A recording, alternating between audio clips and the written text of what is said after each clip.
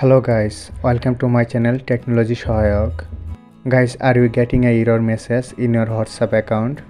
Like this account is not allowed to use WhatsApp due to spam. The error message means that you are banned from using WhatsApp because your activity violated their terms of service. For example, if you spam or spam someone, you will be banned from using the WhatsApp. So anyway, let's start how to fix this account is not allowed to use WhatsApp. Connect your internet and open any browser. And here write WhatsApp and enter. After entering, you enter WhatsApp official website www.whatsapp.com. Now click on three line.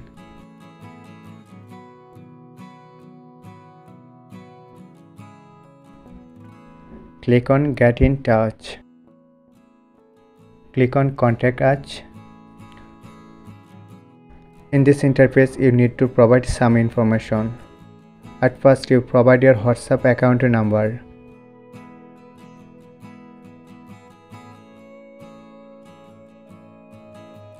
And here provide your any active email address.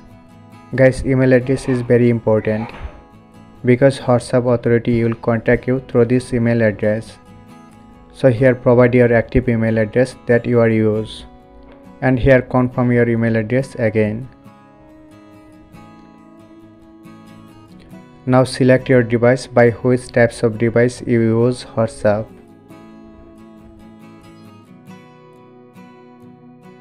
And finally explain that you have been banned from whatsapp by mistake